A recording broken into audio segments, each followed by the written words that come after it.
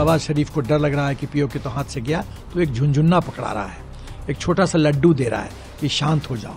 लेकिन मैं पीओके के लोगों को कहना चाहता हूँ, ये झुंझुना के चक्कर में मत पड़ो। आप जो ही शांत हुए तो ये फिर वही गेम खेलना शुरू कर देगा। ये थोड़ा सा डोज दिया जा रहा है कि आप थोड़ा बेहोश हो जाओ, बस।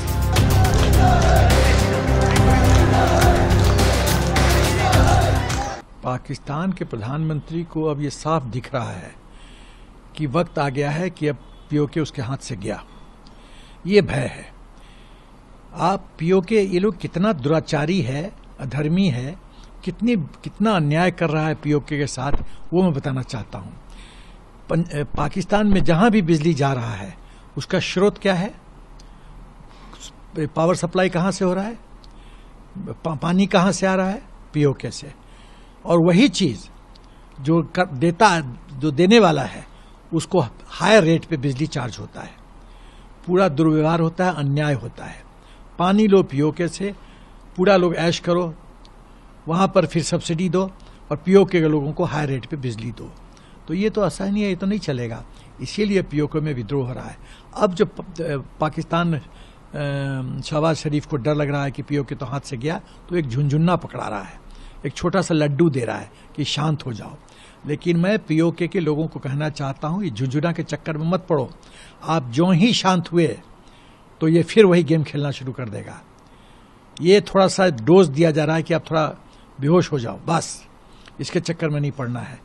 दूसरी बात है कि आ, खाली वक्त बताइए पीओके तो हमारा है। 26 अक्टूबर उन्नीस सौ सैंतालीस को महाराजा हरि सिंह ने instrument of accession unconditional surrender किया था। ये पूरा क्षेत्र हमारा है इंक्लूडिंग टिबेट ये तो नेहरू की स्ट्रेटजिक ब्लंडर है कि हम लोग के हाथ से चला गया। उस समय की कमज़ोर सरकारें थी, आज सशक्त सरकार है और मेरा ख्याल है कि बस वक्त आ ही गया है समझो कि पीओके हमारा होगा और ये हमारा प्रॉपर्टी है। हरि सिंह जी ने हमको दिया था, महाराजा जी ने।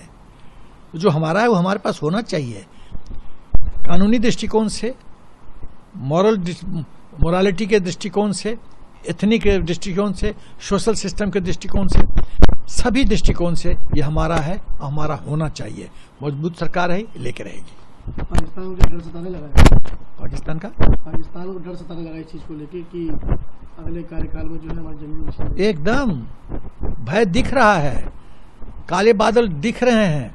बारिश कभी भी हो सकती है। ये सशक्त सरकार है। ये सर्जिकल स्ट्राइक कर देती है पीओके में। ये बालाकोट करती, बालाकोट में एयर स्ट्राइक कर देती है। ये घबराती नहीं मोदी सरकार। ये राष्ट्रहित के लिए बहुत बहुत बुलंद वाला, बहुत बहुत ही कड़ा कठिन मतलब जो फैसला है, वो लेने में हिचकिचाती नहीं है मोदी सरकार। तो उसको तो सभा सभी को पता चल गया है कि ऐसा ही होगा। तो ऐसा होगा। और ये जो यहाँ के कुछ अपोजिशन के लोग बोलते हैं कि अटोमिक पावर है, एटॉमिक पावर है, मैं उनको बोलना चाहता हूँ, तुम भारतीय हो कि तुम पाकिस्तानी हो? दूसरी बात, कारगिल वॉर में कहा गया था मुशर्रफ? का एटॉमिक पावर क्यों नहीं इस्तेमाल किया? क्योंकि पता है एटॉमिक पावर कुछ है नहीं। वो दिवाली वाला फुलझर्री है। फुलझर्री से हम नहीं डरेंगे। हम हम इतना सशक्त हैं। यदि हम हमारा first no first strike policy है लेकिन जब हम रिटेलिएट करेंगे तो पूरा पाकिस्तान गायब। पाकिस्तान को सोचना है गायब होना चाहते हो क्या? पैसों की बात करें क्या स्थिति ऐसी है मुझे तो समझ में नहीं आता 2300 करोड़ पाकिस्तानी रुपीज़ आएगा कहाँ से?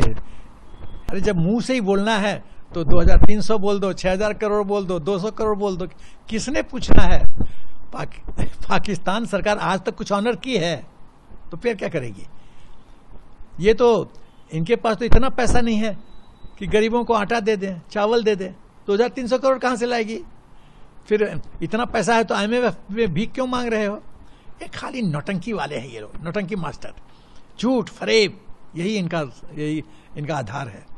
अब पीओके की जनता बेवकूफ़ नहीं हो समझदार होगी, सोशल मीडिया पावरफुल है, उनको मिनट टू मिनट इन्फॉर्मेशन आता है क्या हो रहा है।